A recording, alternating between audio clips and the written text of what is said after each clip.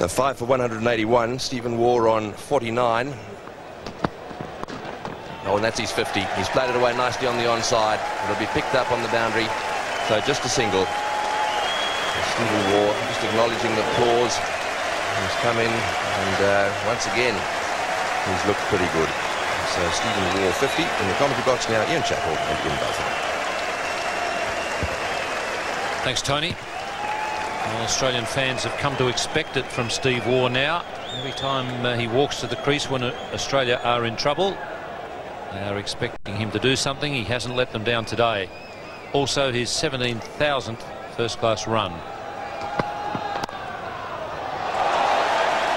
And certainly, fans around Australia expect uh, similar things from Ian Healy when the team's in trouble. He's another man who uh, always seems to get them when the team is in trouble.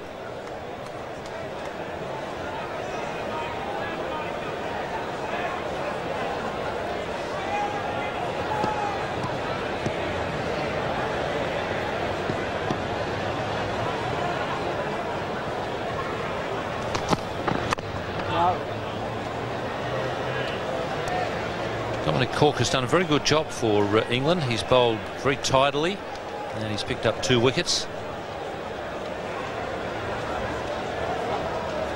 It's been a mixture from Dominic Cork. He's he's kept the batsman pretty tight, but he's also he's never stopped attacking. He's the sort of bowler who's always looking for a wicket. He's combined the two jobs pretty well. Chance just short. Nasser Hussain getting it on the first bounce.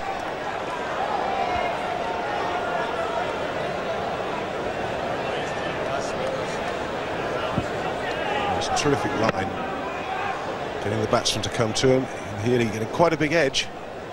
Dropping short and Nasser Hussain. And there's been quite a few that have dropped short today, which has surprised me a little bit. Probably expected there with the ball. Only what, 10, 12 or so overs away from the new ball. He's been doing it all day. No.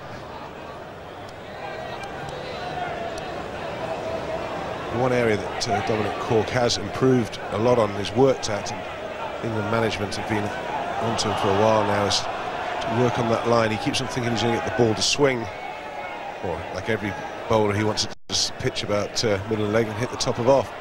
They've been getting him to work on that off stump just outside, and he's been rewarded today. Two wickets. No. That's a very good over. Australia five for 184. Australia five for 184. Steve Waugh has just reached his half century and in the process scored 17,000 first class runs reaching that figure with his 50 Ian Healy on four. It's been uh, what you would class as a typical Ashes day. Good battling cricket. Batsmen uh, getting on top for a while and the bowlers hitting back.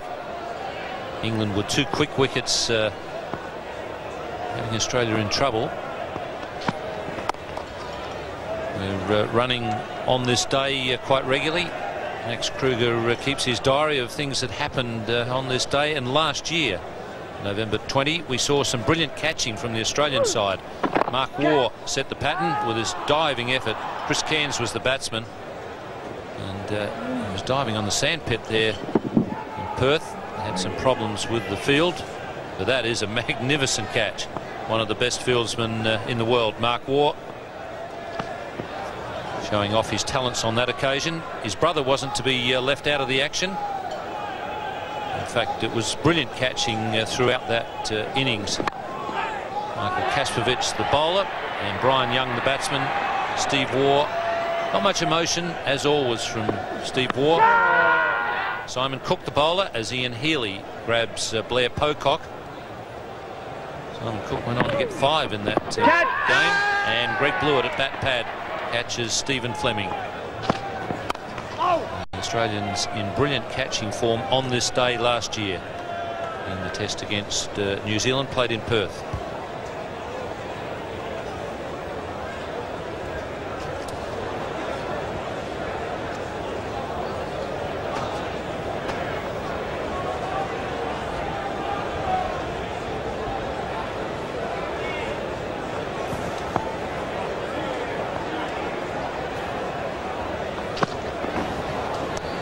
Just the one slip at the moment for England. I think Alec Stewart's done a pretty good job today, but uh, I, I think he might just have in mind Steve Waugh's record and uh, be a bit too conscious of that and consequently perhaps not quite attacking him as he should with five down.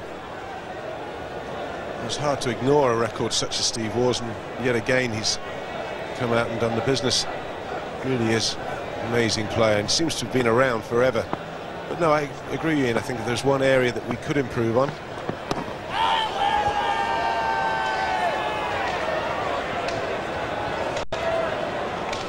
Well, that, uh, to me, makes you wonder if there's another inside edge on that because pretty adjacent initially. I think, uh, yeah, an inside edge onto the pads. Now, the one thing that uh, at times you think with Alec is that he could possibly be a little bit more aggressive for this field placings, but very hard to criticise. They quite clearly see the inside edge into the pad. But all in all today, England have stuck to the task pretty well. Look that for a record. Pretty amazing.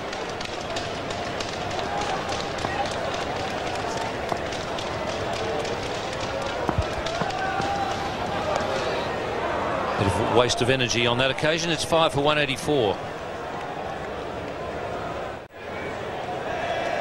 Australia five for 184. They were four for 106 one stage when England grabbed a couple of quick wickets.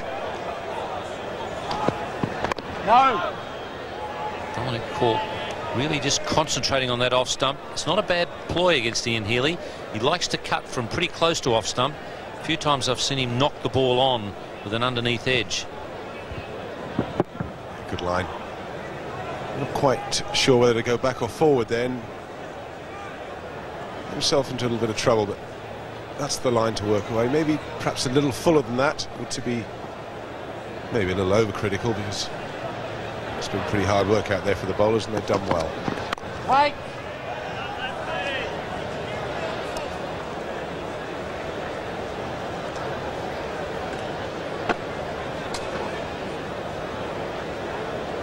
Ian Healy coming in at 5 for 178. It was a pretty similar score when he came in to join exactly this man, Steve Waugh, against the West Indies at this very ground. And Ian Healy went on to make his uh, highest ever test score.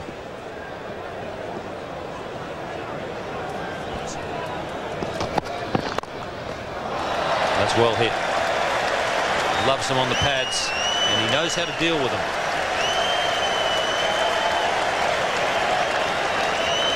Danger. To uh, stray onto that leg stump. These Australian batsmen don't miss out. Ian Healy just a little bottom hand coming into that, just picking it up over mid wicket. And just save your energy, you don't bother running for those. Loves it in that area.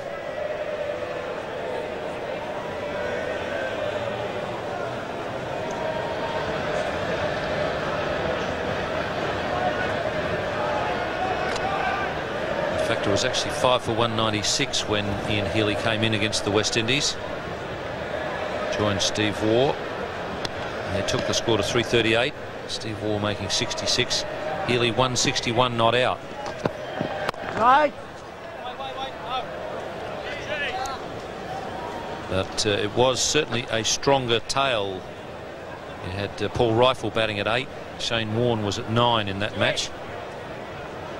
That's the partnerships uh, so far in this innings. 72 the best, Steve Waugh and Ricky Ponting.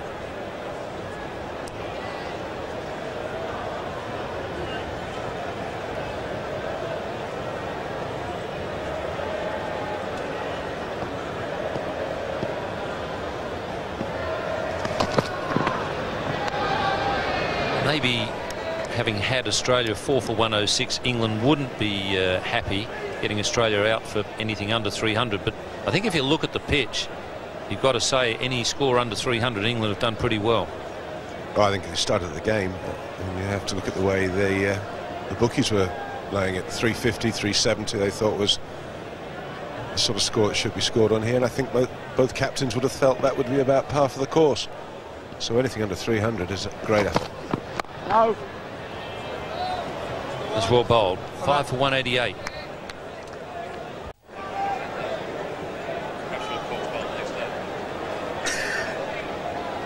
Steve Waugh on 50. Ian Healy 8.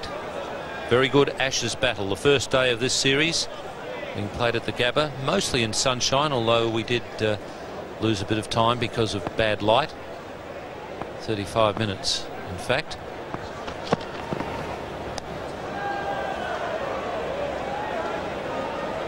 This is where uh, England need to maintain concentration. Might be just a little uh, frustrated with Steve Waugh. They know that he's uh, got this habit of playing well when Australia really needs it. Just started to bang a few in short.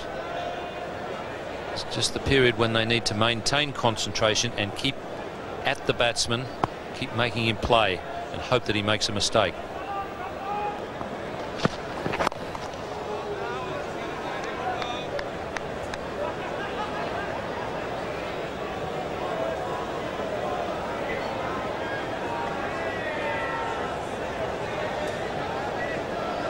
He's pretty, uh, pretty casual man, just in jest there, holding the ball near the stumps uh, as Ian Healy had walked out of his crease, just suggesting that he might uh, flip them off, test the umpire out.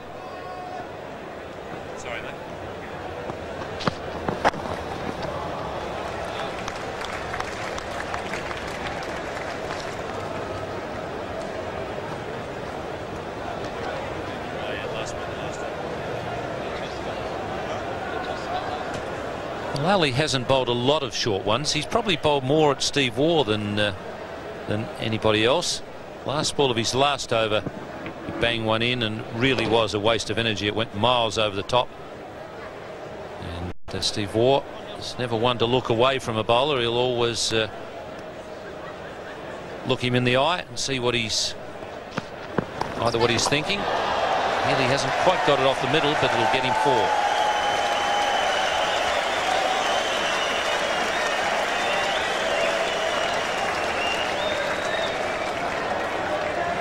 Ian Healy quite happy to accept the uh, challenge. It's banged in. Gets well inside it. It's not uh, quite where he intended. Gets some four runs. Might be worth trying another one.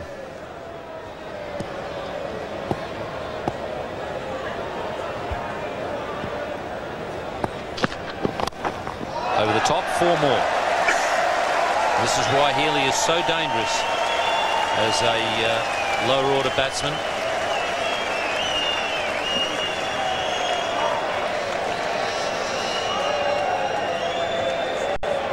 This is an area that he is very strong in. Anything short and wide of the off stump, he'll throw the kitchen sink at it. And, all right, it wasn't out of the middle of the bat quite where he intended.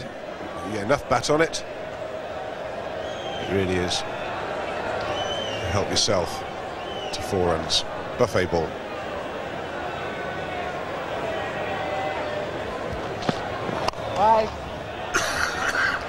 That was a good over for Australia. They've moved along to five for 197. With Healy uh, once again quickly moving along to 16. Three boundaries for Healy.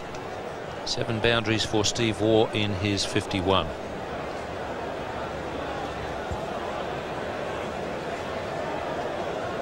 Mark Taylor winning the toss. He made 46 in his 100th Test match.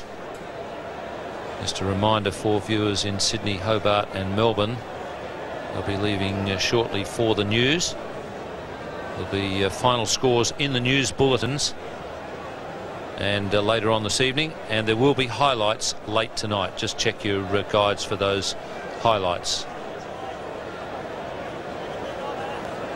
and it's going to be uh, the off spinner Robert Croft now from the Stanley Street end.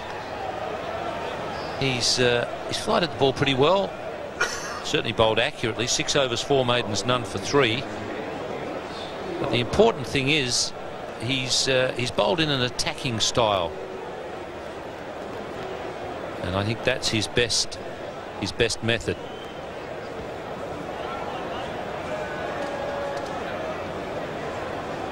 Alec Stewart is giving uh, Croft, two short men on the onside.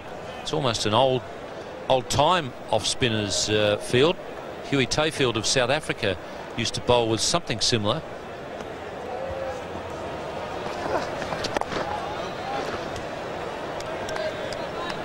I would just like to see the man on the offside up there in at the silly point.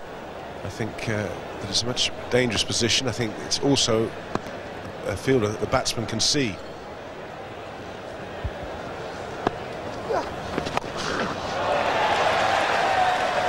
Waugh has been playing that sort of shot quite a bit lately. We saw him play very well in the Commonwealth Games in the one-day series there.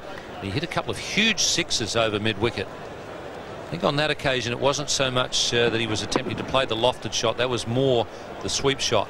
And perhaps because of that field placing that Alec Stewart has got.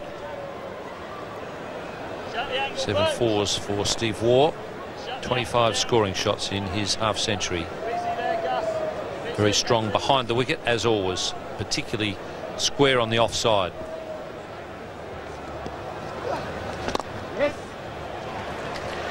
Interesting thing with that field placing for Robert Croft is uh, to utilise it fully. He does have to flight the ball.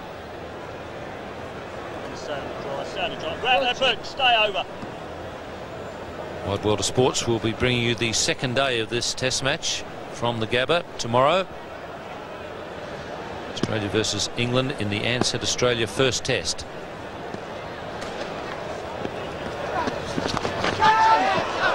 May have popped off the glove or perhaps uh, the bat. So we say goodbye now to viewers in Sydney, Hobart and Melbourne. See you tomorrow.